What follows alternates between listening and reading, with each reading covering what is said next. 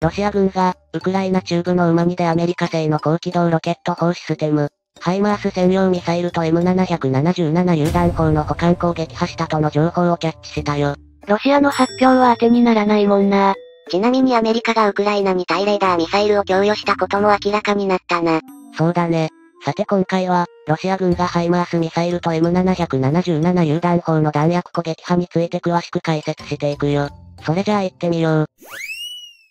ウクライナ軍とロシア軍の激しい激戦が続いているけど、その砲兵戦でウクライナ軍は、アメリカから高機動ロケット砲システムハイマースの供与を受けて実戦配備して以来、それをロシア軍の歩兵、戦車などの装甲車両への直接攻撃ではなく、弾薬庫の破壊、後方の兵隊補給路の遮断や燃料の集積地への攻撃、及び司令部や兵舎などへの攻撃を展開してきたよね。その結果として、ロシア軍がそれまで後方から猛烈な支援砲撃を行っていたんだけど、だんだん頻度や砲弾量が減少していることが、NASA の衛星写真を利用した火災感知システムで判明しているよ。前線部隊の進撃の勢いが落ちるか、あるいは停滞していて、前線のロシア軍部隊への補給が滞っているのではないかと見られ、ロシア軍に効果的な打撃を与えているぜ。ハイマースはアメリカ軍から提供してされた射程 80km の精密誘導ミサイルを6発装備した機動性の良い高機動ロケット砲システム、いわゆるマースマルティプルローンチロケットシステムと呼ばれる兵器だね。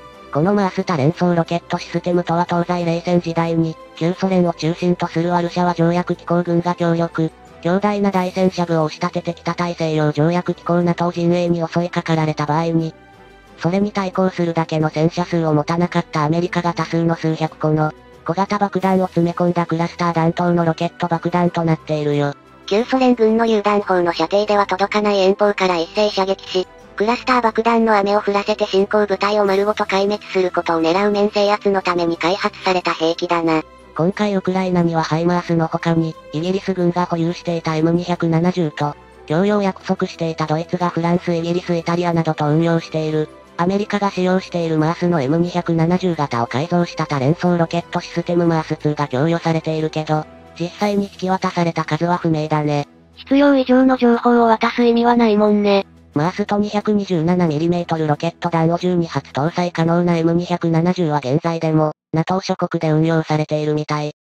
8月12日までにハイマースが16機ウクライナ軍に供与されているんだけど、ウクライナ軍には蒸気のようにハイマースの他にもマースが供与されていて、ウクライナ軍は高機動性のハイマースと、ハイマースと他のマースが使用するロケット弾は全く同じものであり、具体的にアメリカがウクライナに供与しているロケット弾は高性能爆薬を詰めた単弾頭タイプで、乗射程の M30AHM30 の改良型または精密誘導ロケット弾の M31 と見られているよ。ちなみに、M30AH のベースは M30 クラスター弾で、弾頭に約400個の小爆弾小型爆弾を詰めて発射し、目標上空で炸裂させて小型爆弾をばらまき、そこに展開している敵部隊を広範囲に殲滅して面的に制圧するものだったんだ。しかしながら、このクラスター弾は不発弾となる小爆弾が多く発生することが指摘され、戦後平時となった際に残った不発弾によって住民に犠牲が出ることが多々あることからから非人道的兵器と批判されたぜ。近年は、国際的にその使用を規制する動きが活発になっているよね。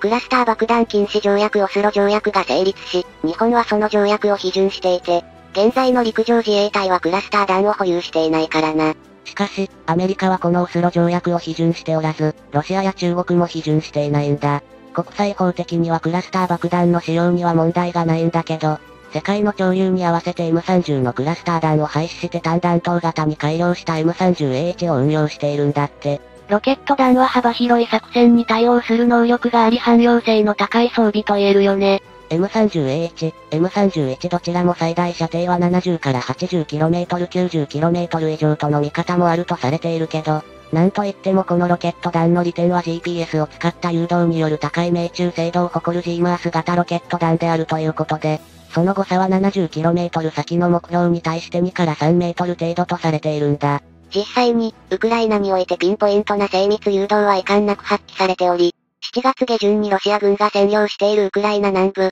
ヘルソン州の州都ヘルソン市近郊のドニプロドニエプル川に架かるアントノフ橋を、ハイマースのピンポイント攻撃で通行不能にしたことでもわかるよな。このアントニフスキー橋攻撃で注目すべきは、橋を完全に破壊するのではなく、道路部分に大きな穴を数箇所開け、大型トラックのみを通行不可として小型車や徒歩による通行を可能にしながら、橋脚などが無傷である点だぜ。ヘルソン市やドニプロ川を溶かして、ムイコラーユ方面に進出して展開しているロシア軍の重要な補給路であるこの橋にダメージを与えたものの、ヘルソン市を奪還した際には橋を素早く修復できるようにするために、橋脚の破壊は避ける攻撃をロシア軍に見せつけたってわけだね。多数のロケット弾をほぼ同時に連続発射して、かつクラスター爆弾によって広範囲に面を制圧するとの発想が生まれ、マースが登場したんだけど、長射程であり精密誘導によるピンポイント攻撃が可能な G マースの開発によって、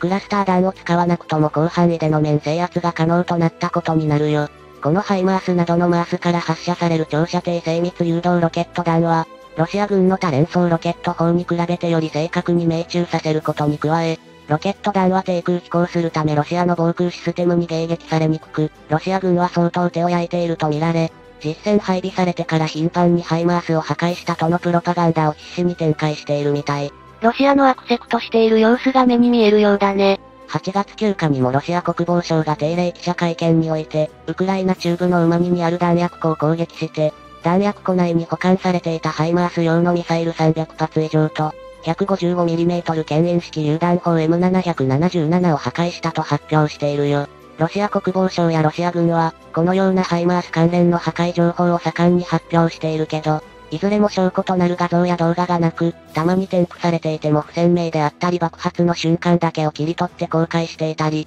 事実認定が不可能なものばかりであると指摘されていて、9日の発表についてもこれを報じたロイター通信が事実関係は確認できていないとしているんだ。このようにハイマースなどのマースを恐れるロシア軍にとって、さらに厄介な兵器がアメリカからウクライナに供与されたことが、アメリカ国防総省から発表されたよ。8月20日、アメリカのカール国防次官が記者会見において、アメリカがウクライナに対してレーダーシステムを標的として自律的に攻撃する対レーダーミサイルを供与したことを明らかにしたんだ。カール国防次官は、対レーダーミサイルの種類や、具体的な日時や正確な数量などは明らかにしなかったものの、CNN の取材などによって供与されたミサイルは空対地ミサイル AGM88 であることがわかっているね。実はその以前、7月25日にウクライナのレズニコー国防省が対レーダーミサイルを受け取ったとの発言をしてはいたものの、ウクライナ空軍の戦闘機が全て旧ソ連製であることことから、西側の対レーダーミサイルの運用には搭載に向けた準備にかなりの時間がかかり、